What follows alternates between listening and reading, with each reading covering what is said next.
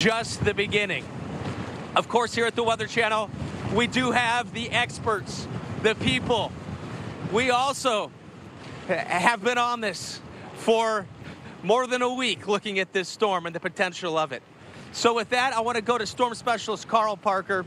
And Carl, I want you to give everybody an update on what we're looking at, of course, but also, if you would at some point address my concern, when we're going to see that wind shift here in this part of North Carolina, Morehead City, and that's something that concerns me as we get closer to high tide tonight, which you can just think about it, it's going to be around midnight tonight. It's going to be around noon tomorrow, the high tides, and then again yep. midnight again tomorrow night. So, Carl, I also want to ask you what you think about that. When are we going to see that wind change to more of an onshore situation where we are here? Well, I think that's really going to be more uh, overnight as the center of the storm gets closer to the coast. And uh, there are the latest stats on the storm a 100 mile per hour category 2 hurricane. There's been some uh, chatter about the idea of a storm of this nature, a category 2 or a category 1, not being that big of a deal. And nothing could be farther from the truth. We're talking about an incredibly serious situation here because this storm is so large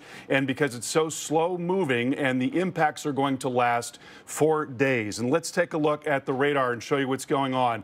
Very well formed storm here on the radar, uh, certainly not weakening at this time. Uh, in the radar presentation, we see a couple of different uh, here. There's a, uh, the main eye wall right in there that is a partial eye wall, and then there's a sort of a secondary eye wall. And within that, some very strong winds, a buoy that is just offshore relative to Ocracoke Island, gusting to 72. Look at this buoy right here, closer to to that main eye wall, gusting to 112 miles per hour. That is what is going to be coming on shore later tonight, overnight tonight, and uh, into the early morning hours as that center of the storm moves near Cape Fear and also towards Wilmington, North Carolina. So again, you've got this feature right in there and uh, winds over 100 miles per hour in that partial eye wall there, but then there's the secondary eye wall that is now coming in. And along with that, we are seeing hurricane force winds and also very heavy rain. We talked a lot about the heavy rain. And when you've got these banding features that are just not moving much at all, this is the last hour, there's barely been any movement in this area around Morehead City and Newport. So flash flood warning for Carteret County with three to six inches of rain coming down already. And you've got a lot more on the way. Also a flash flood warning off to the north of that. That is for Craven, Jones, and Pamlico counties. That's going until 2 2.30 in the morning. And this is a look at the total rainfall. This large area is where we have seen three to five inches already with some pockets over five inches. So this is just the beginning of a very, very long duration rain event. Catastrophic flooding is likely there in coastal areas of North Carolina and South Carolina and farther inland as well towards that 95 corridor. This is about as serious as it gets. We're looking for rainfall totals that could be among the highest that we have ever seen here in North and South Carolina maybe upwards of 24, maybe even 30 inches by the time it's all said and done. And it's not just there.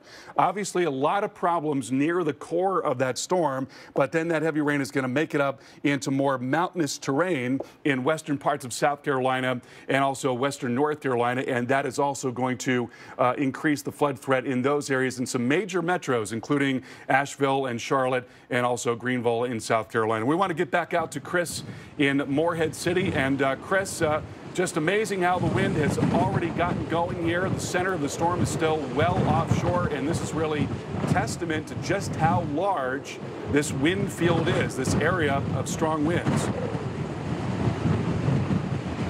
Yeah, and, and we're getting a, a big gust right now, Carl. And when you, you look at this, uh, it's a reminder that if you are not, if you have not evacuated, if the government officials are saying, you got to shelter in place. This is something, especially now it's after dark, you do not want to be in it. You got to shelter in place. And and something else that, that I thought was very uh, telling to just the seriousness of this, this whole situation that we're dealing with. And that was from the emergency managers here in North Carolina saying that you do need to shelter in place if you haven't done so. And in regards to the flooding, they say don't go to your attic if the flooding starts getting high. unless there is a secondary way to get out of there. That just tells you, I think, the seriousness of this, uh, the potential that people might have to resort to that sort of a thing. And, and right now, we're seeing this heavy rain and the winds. What we want to do right now is go to Dave Malkoff, who's joining us in Charleston, South Carolina. And Dave, what's the word there? I know here it's evacuation, it's too late. Can you tell me what, what the deal is there?